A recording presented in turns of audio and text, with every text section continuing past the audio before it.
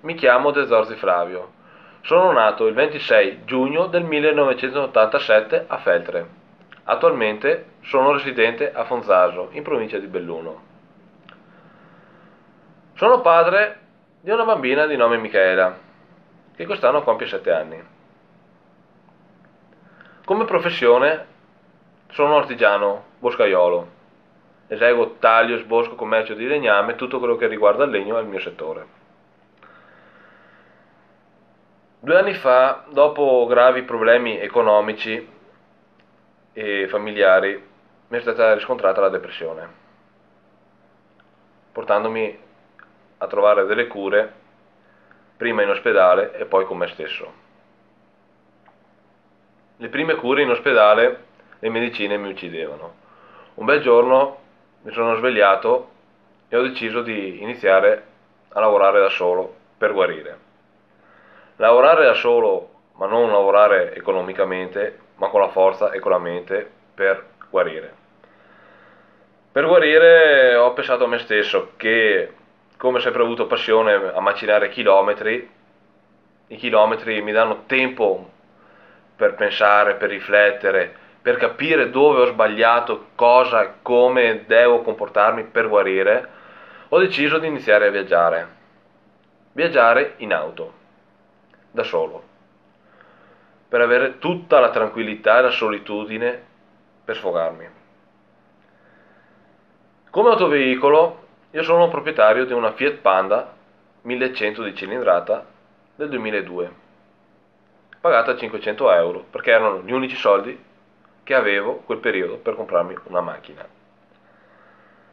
Come primo viaggio ho iniziato a attraversare l'Europa, ho attraversato sempre in solitaria la Scozia, l'Inghilterra, passando per Londra, eh, Irlanda, tutti i paesi nordici, tutto l'immaginabile, la Francia, Parigi, Olanda, Amsterdam, Rotterdam, eh, Germania, ho fatto tutte le città più grosse, Stoccarda, Norimberga, Monaco, Ulm, Francoforte, Colonia, Hannover, via dicendo, le ho fatte un po' tutte.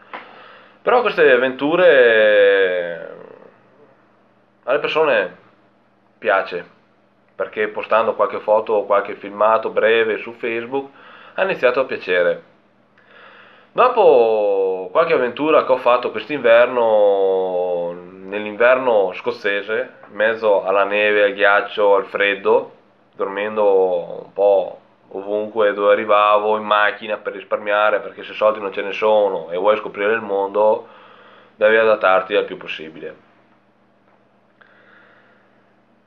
Quando sono rientrato in Italia le persone hanno iniziato a chiedermi com'è andata, come non è andata e piace proprio queste avventure.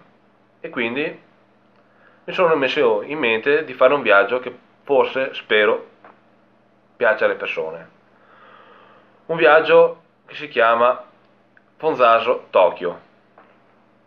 Partendo il 16 luglio presso il piazzale della Fenadora di Fonzaso per arrivare a Tokyo, tutto via terra, con una Fiat Panda, un viaggio in solitaria, attraversando l'Austria, Germania, Polonia, Lituania, Lettonia, per poi entrare in Russia, passando per le città russe Mosca, Kazan, Ufa, Ekaterinburg, Omsk, Novosibirsk, Irkutsk, Lago Baikal, Ulaunde, Città, Skorovodino, Belogorsk, Chabarovsk, per arrivare qui dove sono attualmente a Vladivostok. A Vladivostok sono qui fermo per aspettare il traghetto che arrivi dal Giappone che carichi il mio autoveicolo per portarlo a Sakeminato, nella prefettura di Totori, dove da lì andrò a visitare Hiroshima, dove è stata sganciata la prima bomba nucleare, Enola Gay, e dove c'è un monumento dove è rimasto in piedi l'unico edificio di quel momento che è stata sganciata la bomba nucleare, per poi risalire verso la meta passando per Kyoto, il monte Fuji e arrivando a Tokyo, che è il mio traguardo.